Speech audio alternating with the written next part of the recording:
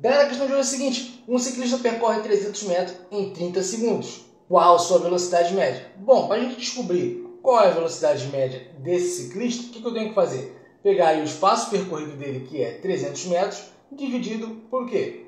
Pelo tempo que ele demorou, que foi 30 segundos, tá ok? Então 300 dividido para 30, eu posso cortar esse zero, fica 30 dividido para 3, então aqui vai ser igual a quem? 10 metros por segundo, tá ok? Mas veja que a resposta está em quilômetros por hora. Como é que eu vou converter isso daqui? Basta multiplicar esse carinha por quanto? 3,6. Multiplicando 10 vezes 3,6, eu vou ter 36 quilômetros por hora. Então, opção certa, opção D.